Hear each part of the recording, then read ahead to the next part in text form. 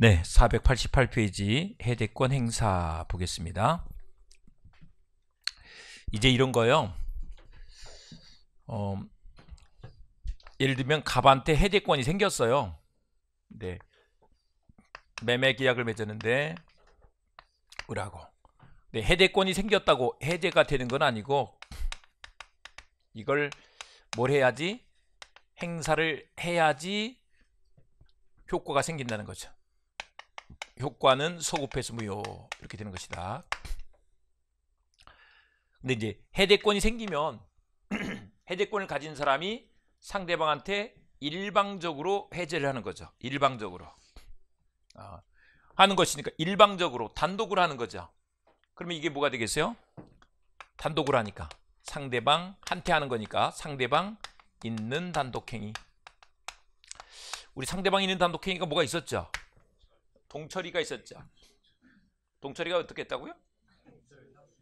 끝까지 좀 해주세요. 네. 아, 예, 대단하십니다. 어떻게 그걸 기억하신대? 동철이가 상추에 취해 채무 면제를 했어. 이렇게 했었죠. 예. 그래서 상대방 있는 단독행위다. 근데 단독행위는 조건에 친하지 않죠. 조건을 붙일 수가 없어. 조건은 단신은 조건이 안 좋다 그랬죠. 단독행위와 신분행위는 조건을 붙일 수 없는 거라고. 그랬었죠. 그 다음에 또 소구표 있는 행위는 기한을 붙일 수가 없는 거야. 소구표 있는 행위는 기한을 붙일 수 없다.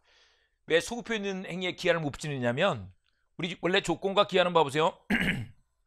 이렇게 조건과 기한은 이 조건 성취 기한이 도래하면 앞으로 효력이 생기거나 앞으로 소멸하거나 이렇게 됐잖아요. 그런데 소구표는 얘들은 거꾸로 가버리잖아요.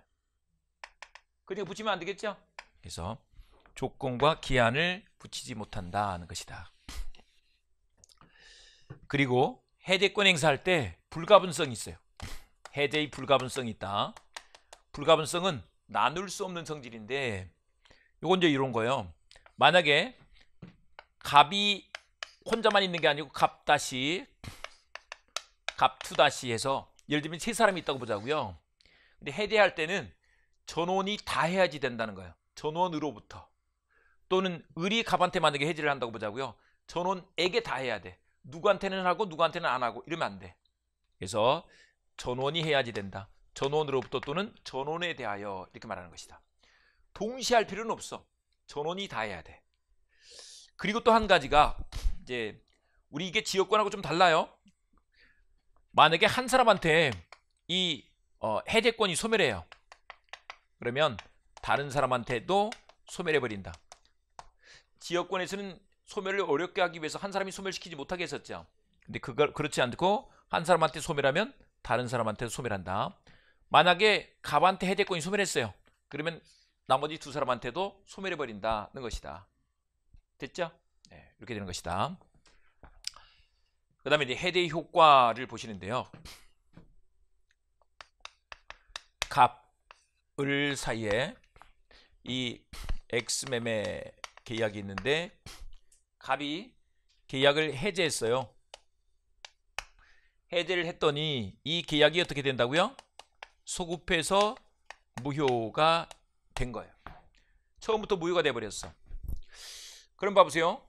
해제를 했는데 만약에 을이 중도금을 안 줘서 갑이 해제를 했다고 보자고요. 근데 해제를 해놓고 갑자기 또 마음을 바꿔서 빨리 중도금 달라고 청구를 해요. 그럴 때 을은 어떻게 할 수 있을까요? 을은 줘야 돼요? 말아야 돼요? 줘야 돼? 말아야 돼? 네, 말수 있다는 거죠. 그때 우리가 뭐라고 할까요? 을이 뭐라 그럴까? 음, 네가 해제했잖아. 이렇게 하면 되죠. 네가 해제해서 이미 무효가 됐죠. 어, 채권 채무가 소멸한 거예요.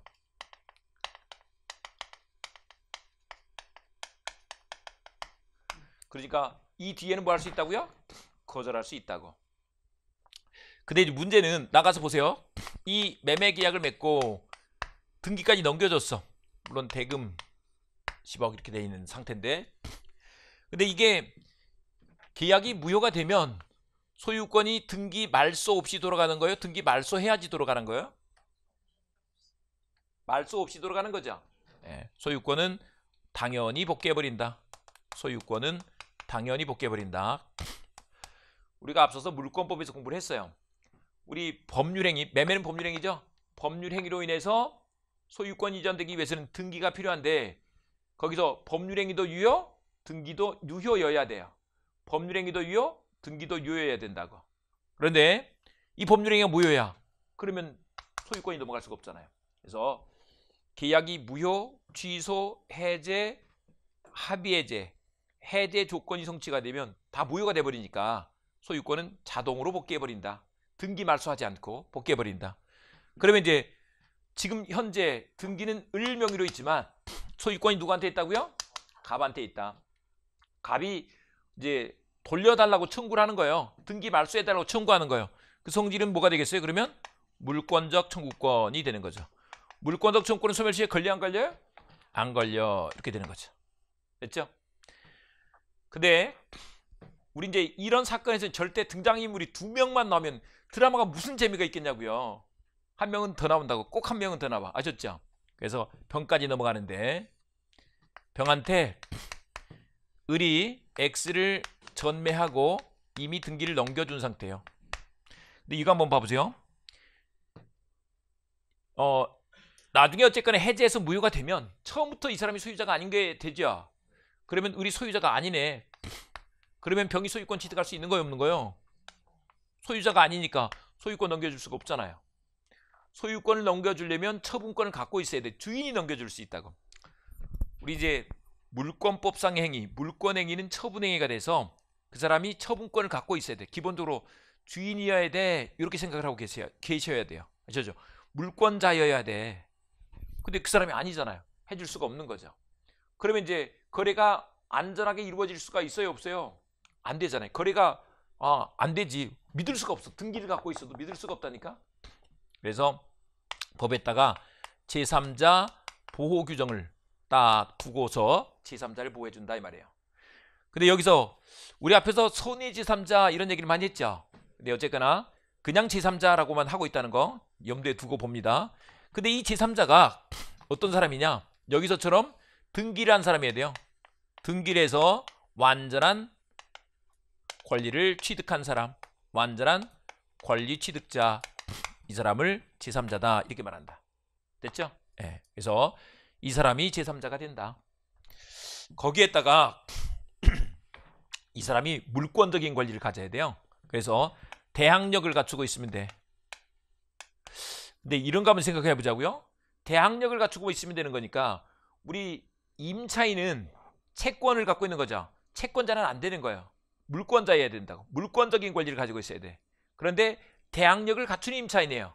그러면 이 사람도 채권자이긴 하지만 예외적으로 보호를 해주는 거예요. 대항력 있는 임차인. 을이 만약에 병한테 저당권 설정을 해줬어요. 그럼 병은 제3자가 되는 거야 안 되는 거예요? 병이 제3자가 된다 안 된다? 빨리 대답을 안 하는 이유는 등기를 한 사람이잖아요. 등기를 한 사람. 등기를 해야 저당권을 취득하는 거잖아요. 다시 봅니다. 소유권 취득도 등기가 필요하죠. 지상권, 지역권, 전세권, 저당권 다 약정으로 되는 거죠. 법률행위니까 뭐가 필요해요? 등기가 필요하잖아요. 등기가 돼 있는 사람이어야 저당권자가 될 거 아니에요. 보호가 된다는 거죠. 예, 이렇게 된다. 그런데 이제 그게 아니라 채권만 양도 받은 사람, 채권 양수인 이런 사람은 안 된다고요. 채권을 어, 양수한 사람은 안 된다고. 그런데 요거 잘 비교해서 봅니다. 부동산 목적물을 가압류한 사람은 돼요. 목적물을 가압류하면 된다. 근데 이 부동산을 가압류하면요. 부동산은 가압류하면 등기를 한다는 거예요. 등기를 하기 때문에 어, 이 사람 등기된 사람이잖아요. 어, 제3자가 되는 거예요.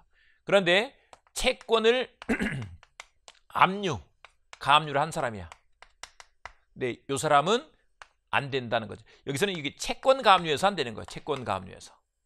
채권은 가압류를 해도 등기를 할 수가 없잖아요. 그래서 이런 사람은 제3자가 아니다. 이렇게 말한다. 뭐 채권을 가지고 처분금지 가처분을 신청했어. 그래서 가처분이 돼 있어도 안 된다는 거죠. 포인트가 채권이다. 채권. 아셨죠? 예. 물권적인 권리를 가졌느냐? 채권적인 권리를 가졌느냐? 그런데 앞서 잠깐 말씀드렸지만 이제 해제를 이때 했는데 해제 전에는 그 사람이 제3자이면 돼요. 등기한 제3자면 된다는 거죠. 대항력 있는 제3자면 돼요. 그런데 그러니까 거기는 손이야기가 따로 있는 게 아니죠. 선악 불문이에요. 그런데 해제 후에는 해제된 사실을 모르는 사람, 즉 손의 제3자, 손의 제3자만을 보호한다는 거죠. 손의 제3자를 보호해준다. 아셨죠? 네, 이렇게 정리가 된다는 것입니다. 손의 제3자만 보호해준다. 네, 이렇게 인정을 해줘요. 그래서 해제 사실을 모르는 제3자. 우리가 앞에서 비통착사강에서는 손의 제3자에게 대하지 못한다 그랬었죠. 비통착사강 얘기하지 말까요? 조금 있으면 또 나올 거니까 한번 그냥 들어두는 거예요. 손의 제3자에게 대하지 못한다 그랬었잖아요. 근데 여기는 그냥 제3자야. 또 해제를 했더니 손의 제3자야. 좀 복잡하죠? 시험 문제를 내고 싶겠어요? 안 내고 싶겠어요? 어, 내고 싶죠. 아셨죠? 이렇게 되는 것이다. 그 다음에 이제 보세요.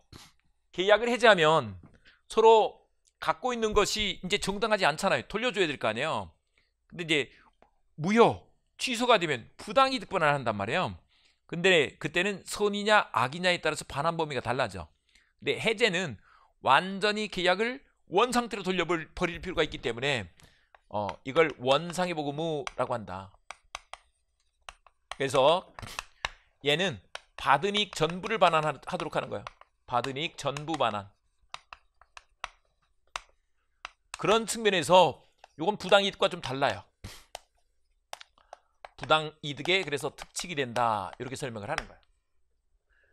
부당 이득에서는 선이 일단은 현존이익만 반환한단 말이에요. 근데 그런 걸 안 따지고 어떻게 한다고요? 다 돌려준다. 그래서 만약에 거기서 새끼 친 게 있으면 새끼까지 다 돌려주는 거예요. 그래서 새끼가 과실이었죠. 과실을 반환한다는 것이다. 이제 우리는 매매 계약이 나올 거니까 매매 계약에서는 매수인이 매도인한테 계약금, 중도금 이런 걸 줬죠. 그러면 돈을 줬어. 금전. 이란 말이에요. 금전은 새끼를 뭘 친다고요? 이자. 이자까지 쳐서 돌려주는 것이다. 이 말이에요. 근데 이 이자를 쳐서 돌려주는데 가산해서 돌려주는데 이거를 받은 날부터 친다는 거죠. 공부를 여러분들이 좀 더 하면 공법에 가면 이 길 그날 이게 많이 나와요. 헷갈려.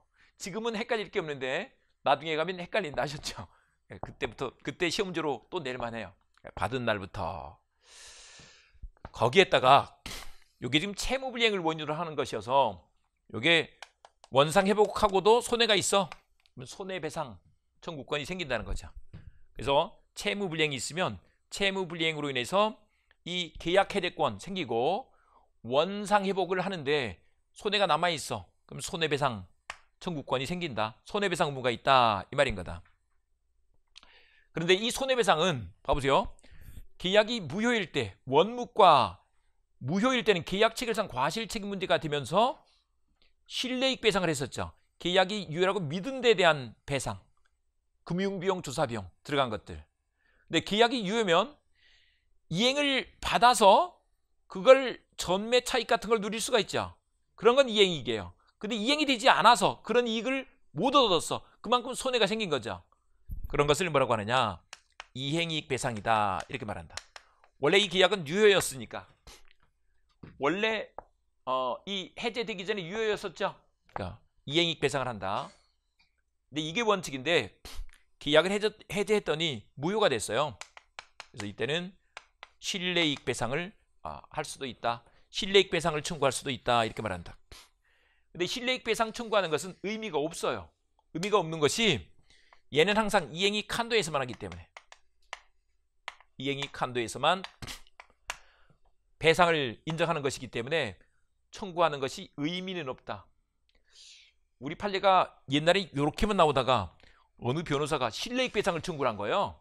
실내익 배상을 청구했더니 그럼 그렇게 해. 이렇게 해준 거예요. 다만 이행이 칸도에서 그러니까 의미 없다 이 말인 거죠. 이해되시죠? 네. 이렇게 하시고요. 그 다음에 이제 우리 지난주에 공부했죠. 계약이 쌍무 계약에서 기벤테이크 계약에서 서로 유효일 때 이행할 때 어, 잔금과 등기서류 교부가 동시행 관계 있었죠. 동시행의 형변권이에요. 근데 이제 이미 이행을 해줬는데 계약이 해제됐네. 청산을 해야 될거 아니에요. 돌려줘야 된단 말이에요. 그때도 뭐가 된다고? 동시행 관계다. 그래서 원상 회복할 때 뭐가 된다? 동시이행 관계다. 손해배상까지 포함해서 동시행 관계다. 우리 판례가 그렇게 말을 했어요. 손해배상까지 포함해서 동시행 관계다.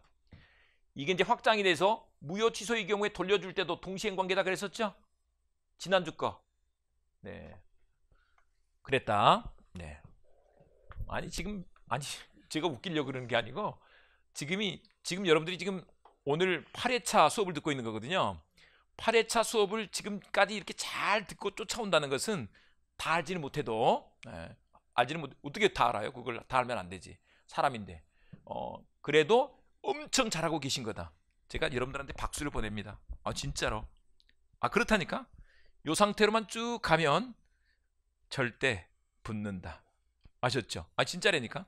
그러니까 어, 사실 쉬운 게 어디 있어요. 쉽지 않은데 잘 따라오고 계신다고. 요거를 인내하고 나가고 있기 때문에 잘 절대 붙는다.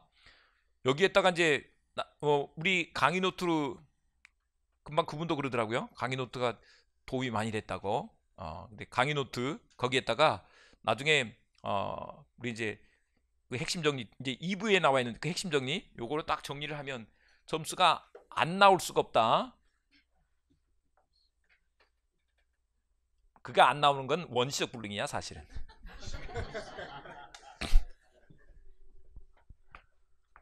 보통 그걸 이제 일반인들은 조상 탓이다 이렇게 얘기하죠. 근데 그런 일은 없더라고요. 제가 해보니까 그런 일은 없어. 아셨죠? 그러니까 어, 그냥 잘하면 된다. 다만 이제 후발적 불능이 있을 수 있는데 귀책 사유가 있는 경우가 있고 없는 경우가 있어. 병원에 간 건 귀책 사유가 없죠. 근데 이제, 근데 이제 자기가 뭐 놀러 가고 뭐뭐 뭐 하고 관리를 잘못해서 이런 건 이제 귀책 사유가 있는 거야. 본인 귀책 사유야. 아셨죠? 그런 일이 생기지 않도록 이렇게 하고요. 다시 여기 이제 법정에 대해서 그런 거예요. 법정에 대해서 원상회복과 손해배상. 근데요 약정에 들어가면 약정에 대해서는 이게 계약 해지하면 처음부터 무효가 되는 건 똑같아요. 그런데 원 중, 중개 있으면 원상회복해야죠.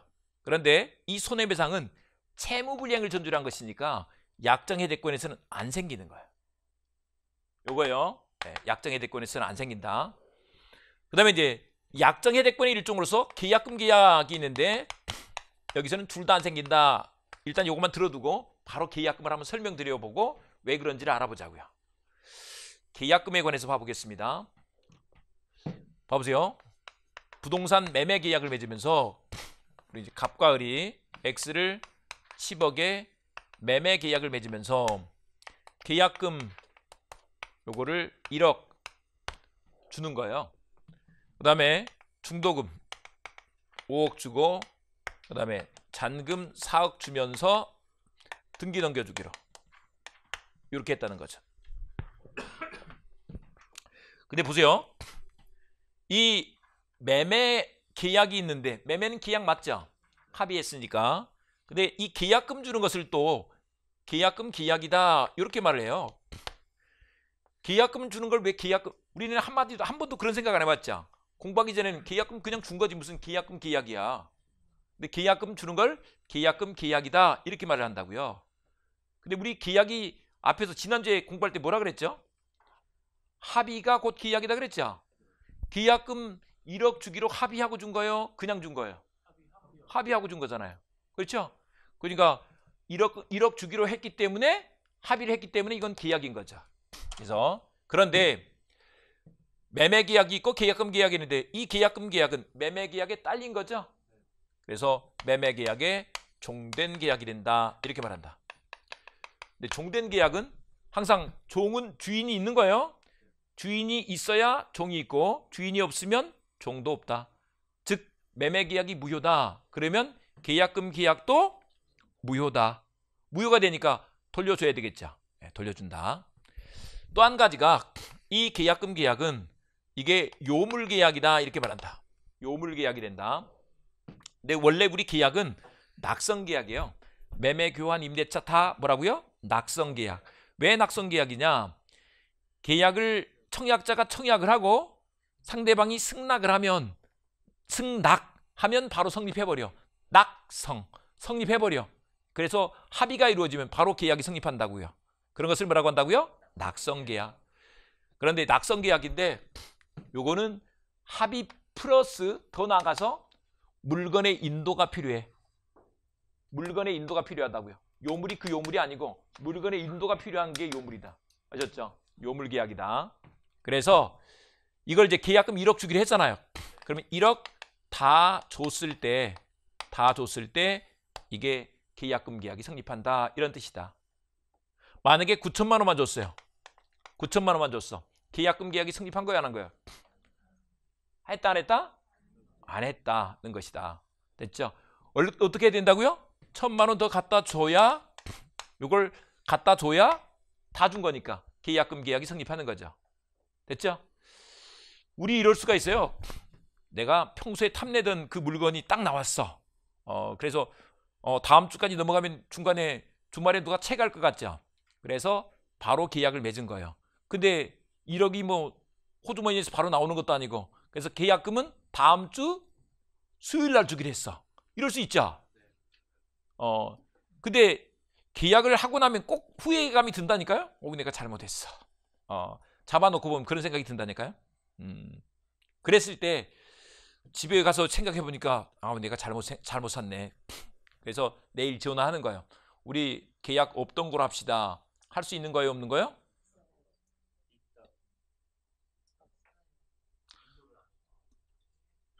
예, 제가 그랬다. 우리가 계약은 지켜야 한다고요? 지키지 말아야 된다고? 지켜야 된다 그랬죠. 그러면 오늘 매매 계약서를 썼죠. 계약이 된 거야, 안된 거예요? 계약 됐죠. 근데 그러면 계약금은 아직 안 줬죠. 계약금을 줘야 무슨 해약을 할 수 있던지 하지. 어, 해제권이 없어서 해제를 못 하는 거야. 해제하려면 해제권이 있어야 된다 그랬잖아요.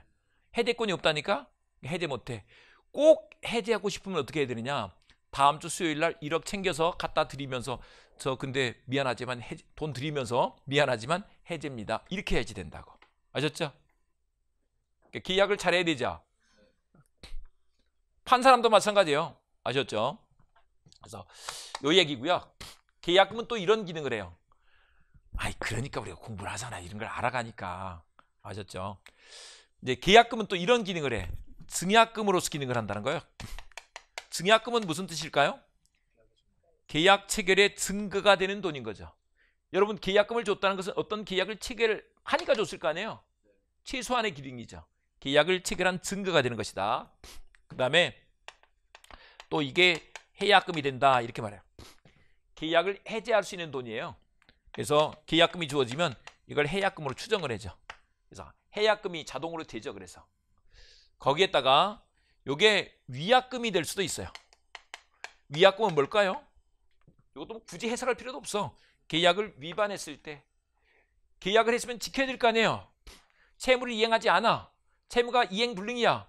계약을 위반한 거잖아요. 그때 주기로 하는 돈인데 이게 위약금이 되려면 위약금으로 하기로 하는 특약이 반드시 있어야 돼요.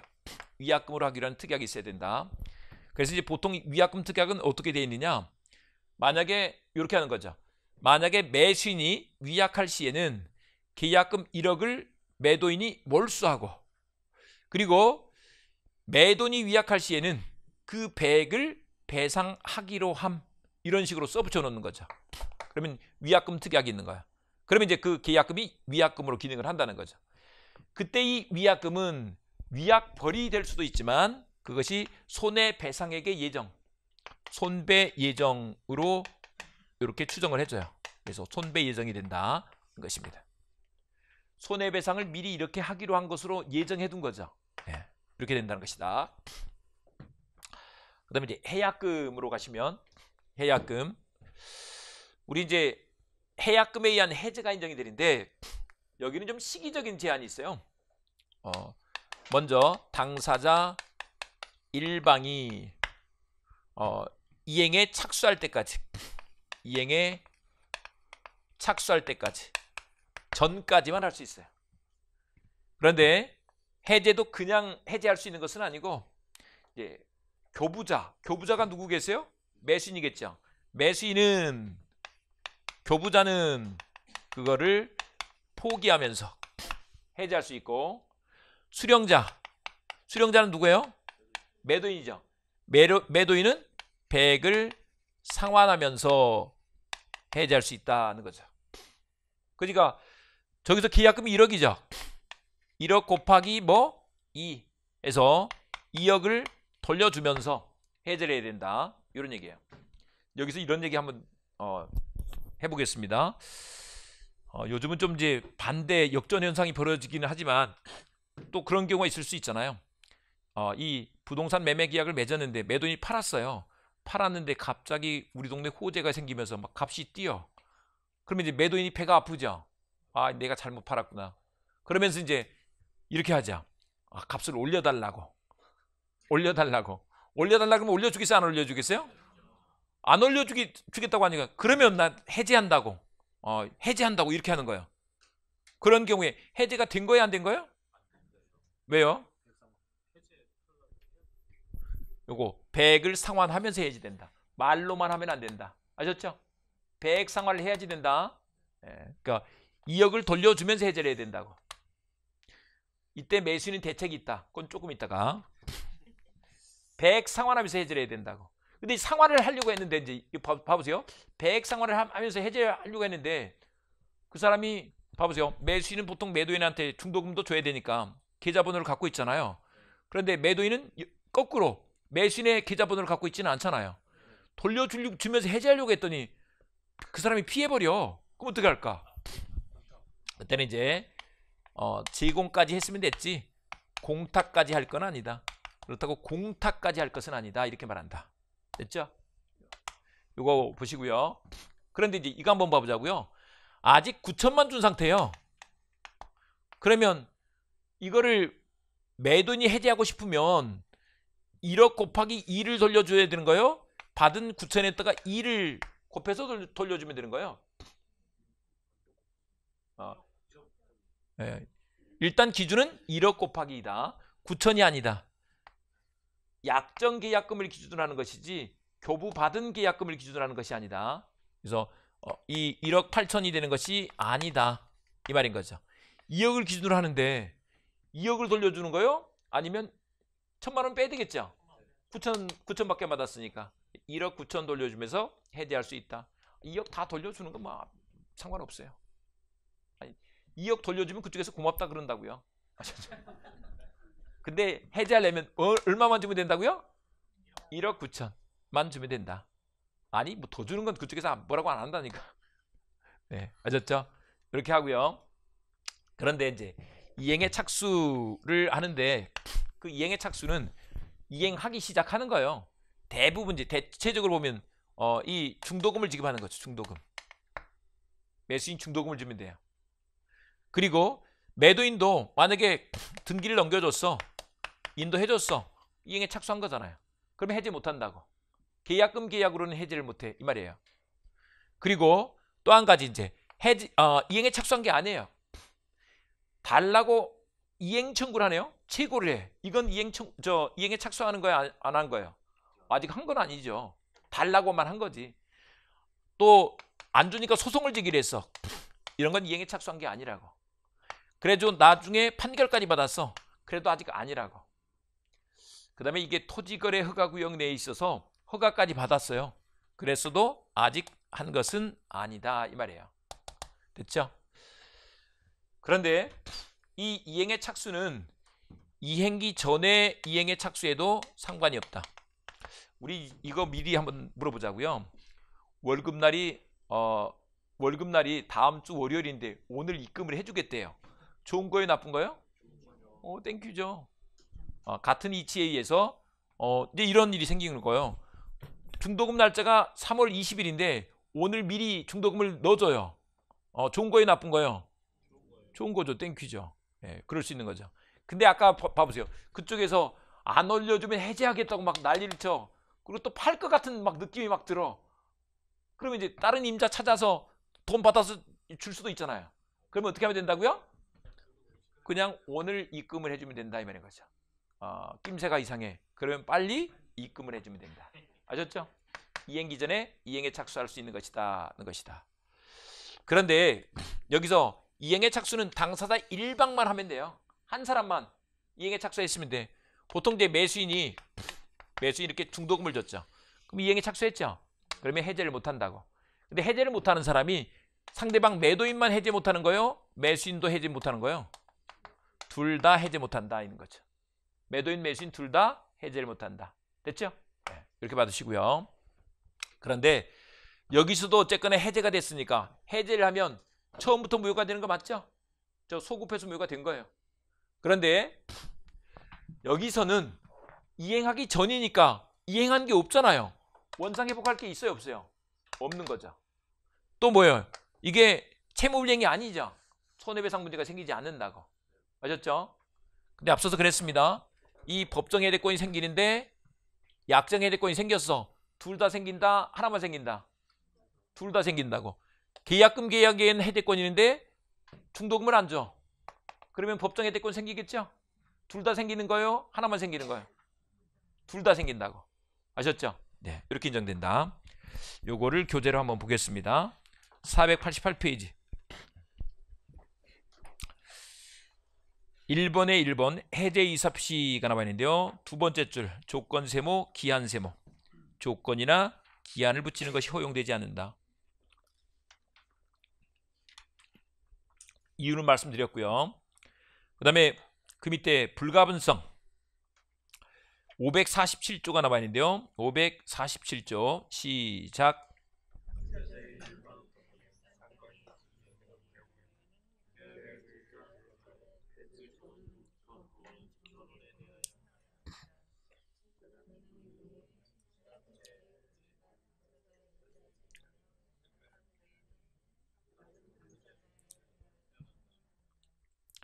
(547조) 이란 것이면 이게 전원으로부터 또는 전원에 대하여 전원으로부터 동그라미 전원에 대하여 동그라미 전원으로부터 이 말은 전원이 이 말이에요. 전원이 다 해야 돼.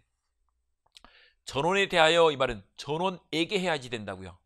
누구한테는 해제하고 누구한테는 해제 안 하고 이러면 안 된다. 다 해야 된다. 그 빈칸에다가 동시에 x 이렇게 두겠습니다. 근데 이걸 동시에 할 필요는 없어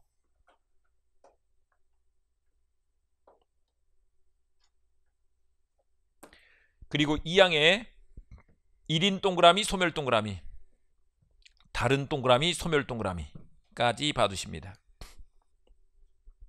그 다음에 오른쪽에 헤드의 효과 548조 2항까지 한번 읽어봅니다. 2항까지 시작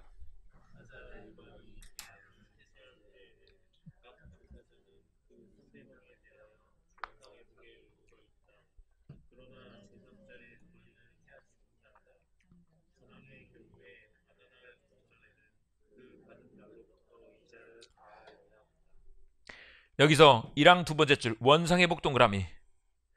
원상회복 의무가 있어. 그 원상회복이 돈이에요. 그러면 금전 동그라미 받은 날로부터 동그라미 이자 동그라미. 금전의 경우에는 받은 날로부터 이자를 토해야 한다. 1번 소급적 실효 동그라미. 그래서 계약이 처음부터 없었던 것으로 그래서 처음부터 효력이 없는 것으로 무효가 되는 것으로 된다. 그러니 넘어가셔서 이미 계약이 해제됐을 때 계약이 해제됐을 때 거기 본문에 가셔서 다섯 번째 줄 계약을 위반한 당사자 동그라미 채무를 이행하지 않은 당사자 동그라미 그 사람도 이행 거절 동그라미 이행을 거절할 수 있다는 것이다. 그 다음에 맨 밑에 3번 판례 보시는데 그렇게 계약을 해지하면 계약을 해지하면 소유권은 돌아가 버린다. 그래서 세 번째 줄 물권 동그라미 당연히 동그라미 복귀 동그라미 등기 말소하지 않고도 돌아가 버린다. 그러니 이제 의리 소유자가 아니니까 병 제3자도 소유자가 되지 못하는 거죠. 그래서 제3자의 권리를 해하지 못한다는 규정을 둬서 보호를 해주는 거예요. 일본의 제3자 동그라미 제3자가 어떤 사람이냐 그런데 거기는 세 번째 줄 등기 동그라미 완전한 권리를 취득한 자 동그라미 완전한 권리를 취득한 자여야 된다는 거예요. 등기한 사람이어야 돼. 그런데 판례 1번 세 번째 줄 대항 요건을 갖춘 임차인 동그라미 대항 요건을 갖춘 임차인도 제3자가 된다는 거죠. 그리고 2번에 세 번째 줄 목적물 가압류 동그라미 목적물을 가압류한 가압류 채권자 이 사람도 제3자다. 그런데 3번에 네 번째 줄 그 등기가 가등기 동그라미 가등기를 마친 사람도 어, 포함한다는 것이다. 그런데 니은 번네 번째 줄 보시면 채권 양수 세모 채권 자체를 압류 세모 채권을 압류한 사람 이런 사람들은 제3자가 아니다. 비교를 딱 합니다. 이 등기를 한 사람, 대항 요건을 갖춘 사람은 물권적인 권리를 가진 사람이야. 그런 사람, 그걸 이제 완전한 권리를 취득한 자 이렇게 표현을 한 거예요. 그런 사람은 보호를 해줘. 그런데 채권적인 권리만 가지고 있는 사람은 보호를 안 해줘. 이 말인 거예요. 그리고 넘어가셔서 이번에 제3자의 범위와 관련해서 지금까지 공부한 것은 첫 번째 줄 해제 전 동그라미 네, 해제 전에 어, 제3자를 보호해주고 있는 건데 그 밑에 해제 이후 동그라미 해제 이후라 하더라도 해제 사실을 모르고 모르고 동그라미 제3자 동그라미 모르고 취득한 제3자는 보호를 해준다는 것이다. 간단히 말하면 선의 제3자를 보호해주는 거죠. 네, 이렇게 해주시고요. 그 다음에 넘어가셔서 3번의 원상회복이 나와 있는데요. 원상회복은 여섯 번째 줄. 급부를 전부 동그라미 전부 반환하는 거. 이게 받은 이익 전부 반환이에요. 받은 이익 전부를 반환한다는 것이다. 전부 동그라미다. 이게 그 밑에 부당이득 동그라미 특별규정 동그라미. 부당이득의 특칙이 되는 거죠. 특별규정이다. 그래서 이게 전부 다 돌려주는 것이니까 니은번에 가시면 이게 금전 동그라미 받은 날부터 동그라미 이자 동그라미 이자까지 쳐서 돌려주는 것이다. 이렇게 말한다. 그런데 4번에 손해배상 손해배상 가시면 2번에 동그라미 2번에 두 번째 줄. 이행이익 동그라미. 이행이익 배상을 구하는 것이 원칙이다. 그런데 실내익 동그라미. 실내익의 배상을 구할 수도 있다는 것이다. 그런데 오른쪽에 가셔서 실내익 배상 하더라도 이행이익을 초과 세모 첫 번째 줄 초과 있죠? 초과 세모 즉 이행이익 한도에서만 배상을 한다는 거죠. 그리고 마지막에 5번에 어, 동시행 동그라미 동시 이행 관계가 된다. 그 다음에 넘어가셔서 계약의 해지 나와 있는데 의에서 계속적 동그라미 밑에 장래의 동그라미 거기 계속적 계약 관계가 아까 말씀드렸던 것처럼 봐보세요. 임대차 계약을 맺어서 언제부터 언제까지 이렇게 빌려줬단 말이에요. 근데 중간에 세가 계속 밀려요. 그러면 여기서 그만두고 앞으로 나가 이렇게 하는 것이 해지라고. 그 전에 건 내버려 두고. 그 전에 건 유효하니까 밀린 세는 내고, 나, 내고, 내고 나가야 되겠죠? 예, 이렇게 되는 것이다. 그런 걸 이제 장래효 이렇게 하는 거예요. 오른쪽에 조문 한번 읽어보고 가자고요. 550조. 시작.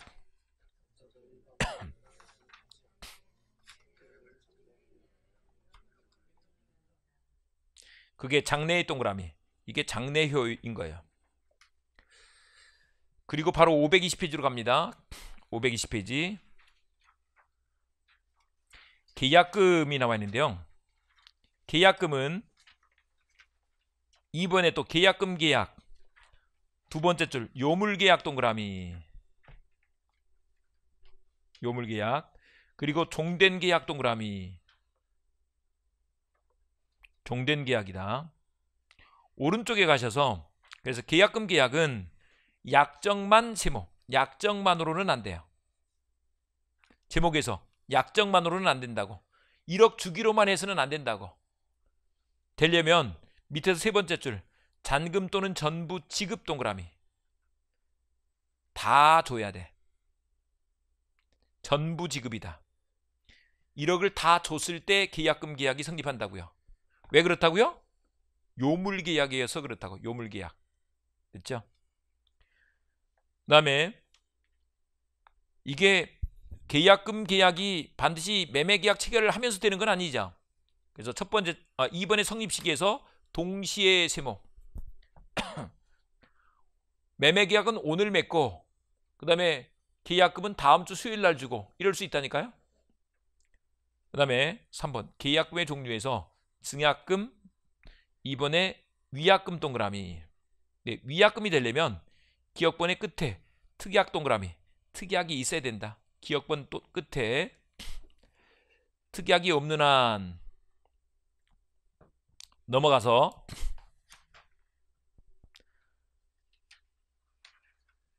해약금이 되는데 동그라미 3번 해약금이 있죠.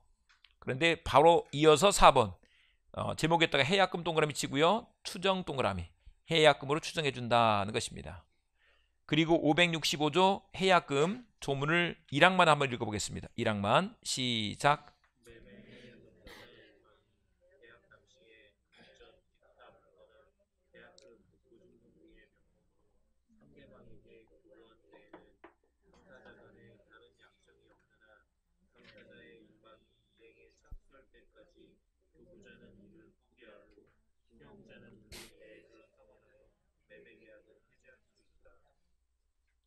여기서 세 번째 줄 괄호 열고 당사자 일방이 이행에 착수할 때까지 괄호 닫고 교부자 동그라미 포기 동그라미 교부자는 매수인 수령자 동그라미 배액상환 동그라미 수령자는 매도인 매도인이 배액상환을 하면서 해제해야 된다. 그러니까 해제야! 이렇게만 해가지고는 해제가 안 된다는 거죠. 그래서 오른쪽에 가시면 니은번 수령자 동그라미 배액상환 동그라미 인데 거기서 세 번째 줄 의사 표시만 세모 의사 표시만으로는 안 되고 배액 제공 동그라미 배액에 제공이 있어야 된다는 것이다. 근데 제공을 했는데 안 받아 공탁 세모 공탁까지는 필요 없다. 디귿번 계약금이 일부만 지급된 경우 일부만 지급 동그라미 즉 9천만 원만 줬어요. 그랬을 때 그 해약금의 기준이 되는 것은 뭐냐? 교부 받은 세모, 약정 계약금 동그라미. 교부 받은 계약금이 아니라 약정 계약금이다. 9천만 원이 기준이 아니고 1억이 기준이다 이 말인 거예요.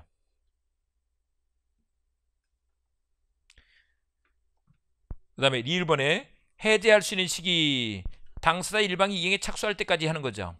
그래서 A번 어, 밑에서 세 번째 줄 보통 매수인이 중도금을 지급하게 되면 중도금 동그라미. 이행에 착수하는 것이다. 이렇게 되는 거죠. 그런데 B번에 네 번째 줄. 매수인이 중도금 지급 동그라미. 매수인 중도금을 지급한 경우에 해제 세모.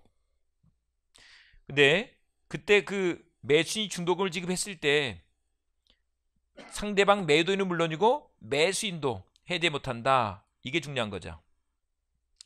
그 다음에 C번에 세 번째 줄 이행기 전 동그라미 이행기 전에 이행에 착수할 수도 있다. 이것입니다. 그런데 D번 토지거래 허가를 받은 것은 어떠냐? 넘어가셔서 관할관청으로 허가를 받았다. 관할관청으로부터 허가를 받았다. 허가를 받았다. 세모. 이건 이행에 착수한 게 아니야. 그리고 밑에서 두 번째 줄 어, 미음번 위로 두 번째 줄 소송을 제기 세모 소송을 제기한 것도 이행에 착수한 것이 아니야. 그리고 해대의 효과 기억번에서 두 번째 줄 원상회복 세모 손해배상 세모 손해배상 문제도 발생하지 않는다.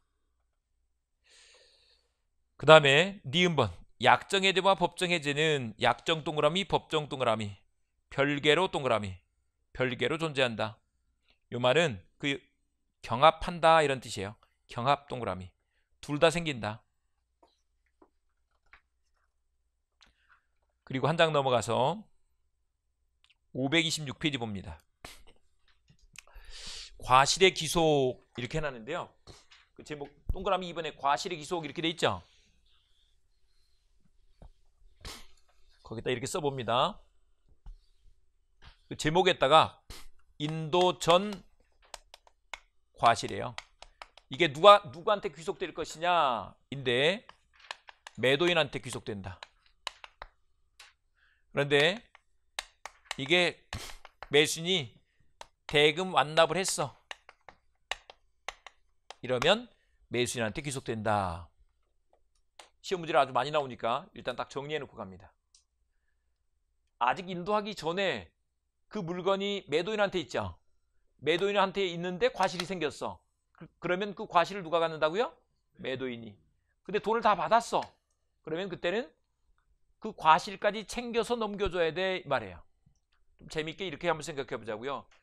닭을 10만 원어치 매매를 한 거예요. 닭. 근데 닭은 몰라요? 달걀. 예, 달걀. 금방 달걀 잘 드셨죠? 예. 그래서 봐보세요. X를 10만 원에 매매 계약을 맺었단 말이에요. 근데 여기서 달걀이 나면 이게 뭐라고요? 과실.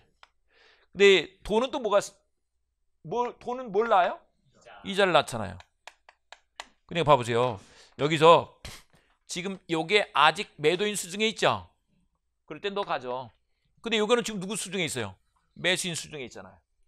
근데 만약에 이걸 넘겨줬어. 그러면 이자도 챙기고 과실도 챙기고 그러면 안 되겠죠? 상응하는 관계에 있단 말이야.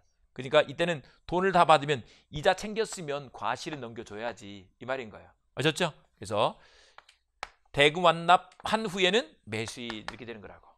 그거를 587조 조문에서 확인해 보겠습니다. 587조 조문에서 조문 한번 읽어보겠습니다.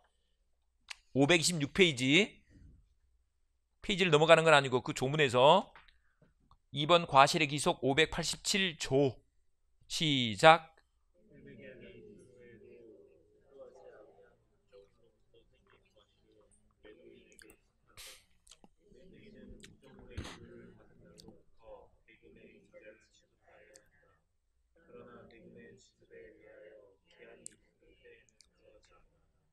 여기서 이렇게 보겠습니다.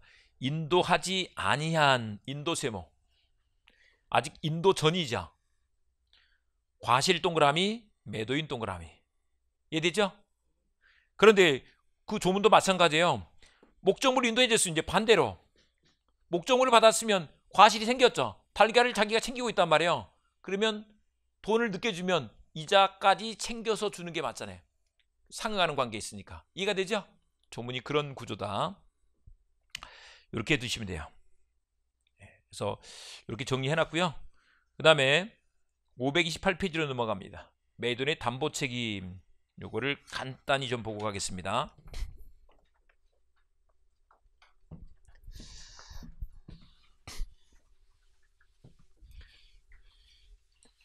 우리가 물건을 샀어요.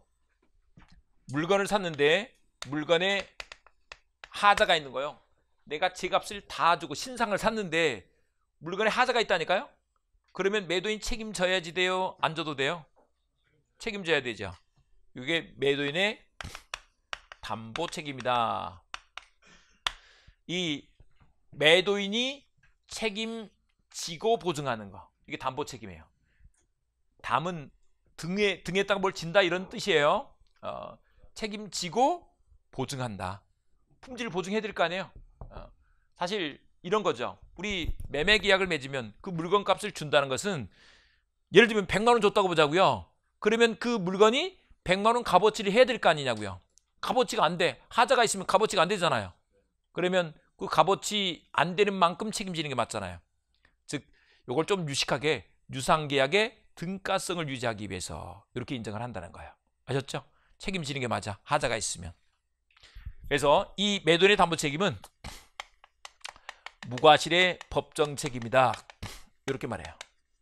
법에서 이렇게 아예 정해놨고 또 한 가지 더 무과실 책임이라는 거요. 그 사람한테 판 사람한테는 과실이 없대. 그러면 나 과실 없으니까 책임 안 져요. 이렇게 하면 되겠어요? 안 되겠어요? 우리 마트에서 물건 파는데 일부러 막 하자 있는 거, 캔 막 그저 상한 거 이런 거 팔겠어요? 그런 건 아니죠. 그 사람들이 뭐 자기들은 물건 들어온 대로 잘 받아놨다가 창고에 재놨다가 파는 거잖아요. 근데 나중에 봤더니 하자가 있대. 오 나는 잘못이 없는데 이 말하면 안 된다고. 그냥 바꿔주면 되지. 아셨죠? 이 말인 거라고. 그래서 만약에 근데 이제 만약에 그 매도인한테 과실까지 있어. 그럼 어떻게 되느냐? 이때는 이제 이 담보 책임은 물론이고 담보 책임은 물론이고 어떤 책임까지 어, 채무 불이행 책임까지 같이 진다. 요때 채무 불이행이 보통 불완전 이행이 돼요. 완전한 물건을 이행해야 되는데 그 이행이 완전하지가 않죠. 이게 불완전 이행이다. 이해되시죠? 이렇게 되는 것입니다. 무과실의 법정 책임이야. 이렇게 되고요. 그 다음에 이제 이 담보 책임은요. 계약이 유효일 때 생겨요. 무효일 때는 이런 문제가 안 생긴다는 거죠. 무효일 때는 어떻게 처리하면 되느냐? 유효일 때 생기고 무효일 때는 그냥 부당이득 반환 문제로 해결하면 돼요. 무슨 말이냐? 예를 들면 이런 거요. 우리 어, 하자에 무- 있는 물건을 샀는데 계약이 만약에 무효다라고 보세요. 그러면 하자에 있는 물건 돌려주고 내 돈 받으면 계산 끝난 거잖아요. 담보 책임 물을 게 없는 거죠. 계약이 유효인데 하자가 있을 때 그때 담보 책임을 묻는 것이다. 이런 경우들이 많이 있어요. 하자에 있는 물, 물건을 보통 이제 장사하다 보면 조금씩 속여서 팔기도 하잖아요. 어, 사기를 쳐서 판 거예요. 그러면 이제 사기 취소를 만약에 했다라고 보세요. 사기 취소를 해버렸어. 그러면 이미 무효가 됐죠. 그럼 부당이득으로 처리하면 되지 담보 책임으로 갈 게 아니라고. 취소하지 않을 때 그때 담보 책임 문제로 가는 거라고. 아셨죠? 둘 중에 하나만 이렇게 되는 것이다. 그 다음에 이제 이게 하자 때문에 손해가 생겼어요. 그러면 손해배상 해야지 맞겠죠. 그래서 손해배상 책임을 지는데 이때 이 계약이 유효일 때 하는 손해배상이니까 이때 손해배상은 뭐가 되겠어요? 이행이익배상이다 이렇게 말한다. 됐죠? 이행이익배상을 하는데 다만 이런 문제가 생길 수 있어요. 하자가 확대되거나 또는 하자 화- 하자로 인해서 손해가 생겼어. 손해배상을 하는데 그게 매수인한테도 잘못이 있어요. 그러면 손해배상 범위를 정할 때 참작하는 게 맞을까요? 그냥 일단 다 해주는 게 맞을까요? 참작해야죠. 지 잘못도 있는데. 그러면 매수인의 잘못을 참작 참작하는 게 맞다. 이렇게 말한다. 네, 이렇게 되고요. 그 다음에 한 가지 더 이제 우리 이 계약법 규정은 임의 규정, 강행 규정, 임의 규정 그랬죠. 임의 규정. 시간이 없어서 빨리빨리 대답을 해버려야지 내가. 임의 규정. 그러니까 이게 임의 규정이니까 원래 담보 책임 하자가 있으면 담보 책임 지는 게 맞는데 면제 특약을 할 수 있는 거예요, 없는 거예요? 면제 특약을 할 수가 있잖아요. 면제 특약을 할 수 있어. 그런데 하자가 있는 걸 지는 다 알고서 면제 특약을 한 거예요. 그래 놓고 알고 고지를 안 했어. 알고 고지를 안 했어. 그럼 어떻게 되는 거야? 이건 나쁜 사람이잖아요. 그러면 책임을 면하지 못한다. 책임진다. 이런 구조로 되는 거죠. 예를 들면 우리 이런 거 한번 보세요. 무슨 마트에서 물건 살 때도 좀 그 야채 같은 것들 좀 시들면 그걸 아예 알뜰매대 같은 데 옮겨 놓고 좀 싸게 팔잖아요. 다 얘기하고 싸게 팔잖아요. 그거 지금 얘기를 한 거예요. 어, 그런 거니까 그건 문제가 없죠. 그걸 사놓고서 그걸 사놓고서 왜 이따 이걸 팔았어 이렇게 하면 안 되죠. 예.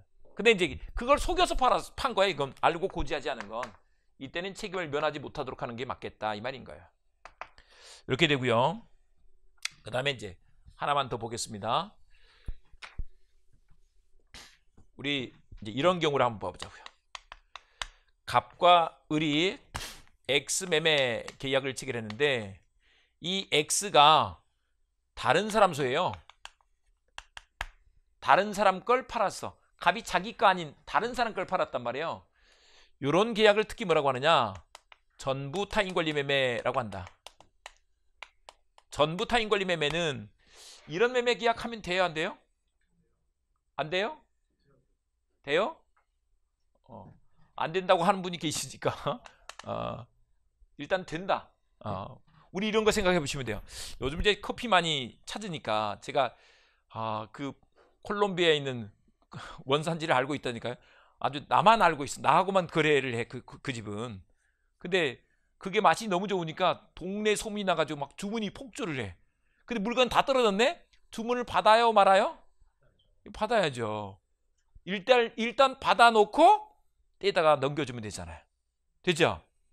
주문 받아놓고 전화하면 된다니까? 예. 그게 그래서 유효라고. 됐죠? 그렇게 되는 거라고. 그러니까 사서 넘겨주면 되는 거니까 괜찮다고. 근데 이게 만약에 이제 물건이 떨어져서 없어. 책임져야지. 이게 이전 불능일 때는 이제 담보 책임 문제가 생긴다는 거예요. 그런데 이 담보 책임은 그 내용은 어떻게 되느냐? 인데 이때는 이제 이렇게 하면 된다는 거야. 을은 요거 봐보세요. 이 사람이 사서 준다 그래서 사서 넘겨준다 그래서 계약을 맺었는데 넘겨주지 못한 상태인데도 계속 그걸 유지하면 계약이 계속 남아 있잖아요. 계약을 없애야 돼. 계약 해대권을 인정해 주는 거야. 근데 이 사람은 선이든 악이든 상관없어. 악이일 때도 이 계약 해대권 인정해 줄 수 있다는 거죠. 왜냐하면 아니 갑이 못 넘겨주는데 계속 묶여 있을 수는 없잖아요. 그래서 악이자도 할 수 있다. 그런데 거기서 만약에 손해가 생겼어. 그러면 어떻게 할 수 있다고요? 손해배상을 청구할 수 있다고. 그런데 이 사람은 선이자만 할 수 있고 악이자는 손해배상을 청구할 수 없다는 것이다. 악이자는 이미 다 알고 대비했는데 뭔 손해배상이야. 선이자만. 그게 갑의 건 줄 알고 사는데 갑의 거가 아닌 걸 모르고 산 거죠. 이랬을 때만 손해배상을 청구할 수 있다.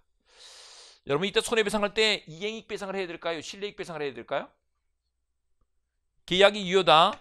여기서 이행익 배상이라고 이 얘기를 미리 해놨다. 이행익 배상 아셨죠? 이행익 배상을 한다는 것입니다. 그래서 이렇게 된다. 그런데 여기서 한 가지 더 봅니다. 갑이 이게 자기 건 줄 알았는데 자기 거 아닌 걸 모르고 산 거예요. 모, 모르고 팔아버린 거예요. 이게 선의 매도인이야. 이 사람은 좀 보호를 해줄 필요가 있어. 선의 매도인에게 해대권을 인정해준다. 그런 사람이 세상에 어디 있냐고요? 있어요. 우리 앞에서 공부를 해서 만났어. 저 갑이 누구한테 산 거냐면 원래 그 고향에 과수원 농 저 뭐야 창고 집을 남겨놓고 떠나온 점유자 회, 점유자 회복자 회복자 있었죠. 그 사촌 동생한테 맡겨놨더니 얘가 등기를 자기 거로 바꾼 다음에 갑한테 팔고 갔네. 근데 그 사람은 자기가 살 때도 몰랐고 팔 때도 자기 건 줄 알고 팔았어. 근데 나중에 그런 일이 밝혀진 거야. 팔고 난 뒤에 그런 경우도 생길 수 있죠. 그 사람이 선의 매도인이랄까요? 근데 이 사람은 계약을 해제할 수 있는 권리를 인정해 주는 거야. 아셨죠? 지금 여기서는 지금 매수인이 하는 거요. 매수인이 어 근데 선의 매도인이 해제할 수 있다니까. 근데 그 사람한테 생긴 손해는 배상해 줘야 되죠. 근데 만약에 그 사람이 악이 악이자예요. 손해배상하지 않고 중요한 것은 해대권 인정해 준다는 것이다. 매수인 손해인 때는 손해배상을 하고 악인 때는 손해배상하지 않고 이렇게 하는 것이다. 네. 그런데 여기서 한 가지 더. 이 담보 책임에는 제척 기간이 따로 있지는 않아요. 제척 기간이 있지는 않다. 좀 이따 보기로 하고요. 그런데 이제 이거 한번 봐보자고요. 이 이전 불능이 만약에 이 매도인 지금 갑의 귀책 사유가 있는 거예요. 매도인의 귀책 사유가 있어. 여기서 봐보세요. 매도인에게 과실이 있으면 두 개 다 두 개 다 책임을 물을 수 있다 그랬죠. 그래서 담보 책임을 물을 수도 있고 어떤 책임을 물을 수도 있고 채무 불이행 책임을 물을 수도 있고. 근데 봐보세요. 만약에 여기서 이 매수인이 매수인이 악이에요, 악이. 악이면 봐보세요. 악이자는 손해배상을 청구할 수 있다 그랬어요, 없다 그랬어요. 담보 책임을 물어서 손해배상을 청구할 수는 없다고요. 해 어, 해제는 가능해. 네, 손해배상 청구는 못해. 그런데 채무 불이행 책임에서는 그런 걸 안 따져요. 그래서 매수인이 악이일지라도 만약에 매도인에게 귀책 사유가 있다면 채무 불이행 책임을 물어서 손해배상을 청구하는 거 요거는 인정된다 이렇게 말한다. 이건 요건이 아니야. 채무 불이행에서는 채무자에게 귀책 사유가 있으면 채권자가 선이든 악이든 안 따진다고. 네, 이렇게 된다는 거죠. 요걸 좀 체크하고 쉬도록 하겠습니다. 528페이지 05번에 매도인 동그라미 책임 동그라미 매도인의 책임 이렇게 읽어두시고요. 2번에 1번 법정 동그라미 무과실 동그라미 법정의 무과실 책임이다 라고 한다. 그 다음에 오른쪽에 임의규정 동그라미 임의규정이다. 그리고 584조 조문을 읽어보겠습니다. 시작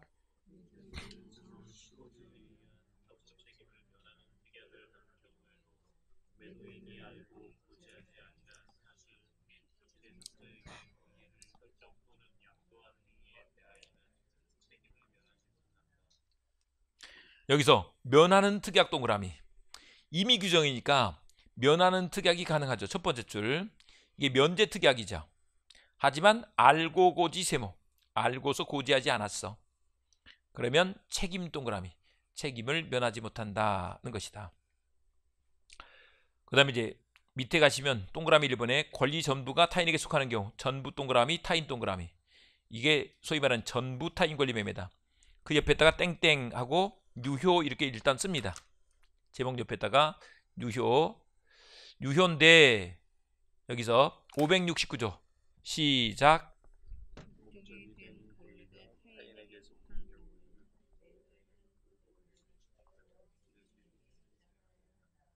그래서 유효니까 취득해서 이전에 줘야지 되는 거죠.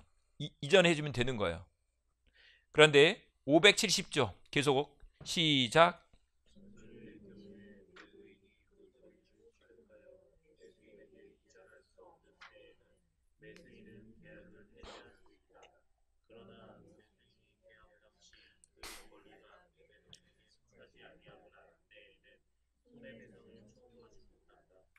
여기서 동전은 앞과 같다 이런 뜻이죠. 같을 동자 앞전자 써서 즉 이 말은 타인 권리 매매에서 매도인의 담보 책임 이렇게 읽어라 이런 뜻이에요. 그런데 이때는 이전 불능이면 어떻게 하느냐? 두 번째 줄 매수인 동그라미 해제 동그라미 매수인은 해제할 수 있다. 그런데 안떼 세모 손해배상 동그라미 안떼에는 손해배상을 청구하지 못해. 그러니까 안떼는 악이죠. 그래서 그 밑에다 써두면 악이 x 선이 동그라미 선의인 때만 손해배상을 청구할 수 있다 이런 뜻이 되는 거예요. 그리고 넘어가서 다른 내용 됐고 B번에 손해배상 청구권 보시면 손해배상 청구권의 네 번째 줄 이행이익 배상 이행이익 동그라미 이행이익을 배상하여야 한다는 것이다. 그리고 판례로 가시면 타인 권리 매매에 있어서 여기서 매도인의 귀책 사유 동그라미 손해배상 동그라미 손해배상 책임 동그라미. 그런데 이 매수인이 두 번째 줄 끝에 오른쪽에 악이 동그라미. 악이면 담보 책임 세모. 담보 책임을 물어서 손해배상을 청구할 수는 없죠. 그러나 채무불이행 동그라미. 채무불이행의 일반 규정에 의해서 채무불이행 책임을 물어서 손해배상을 청구하는 것은 인정된다. 그리고 리을번 제척기간 세모 제척기간의 제한이 없다. 오른쪽에 선의 매도인에 대한 특징 선의 매도인 동그라미 해두시고요. 그 571조 조문을 한번 읽어보겠습니다. 시작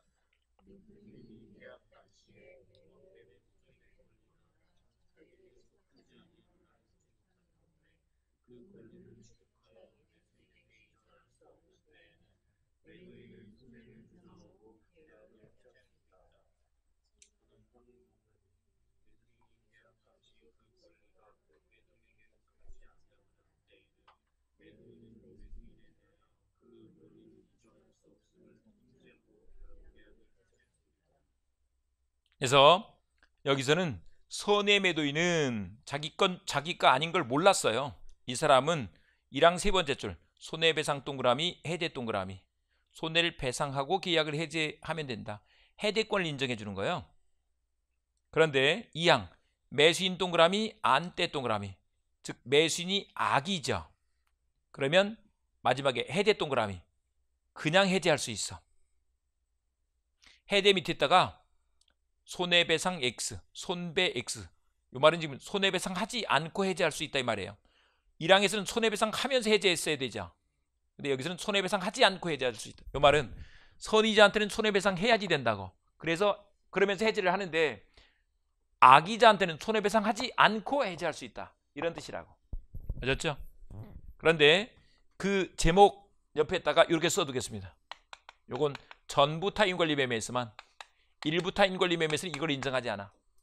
전부 타인 권리 매매에서만 인정하고 일부 타인 권리 매매에서는 이걸 인정하지 않는다. 2번 일부 타인 권리 매매가 나왔는데요. 요거는 쉬었다. 다음 시간에 보겠습니다.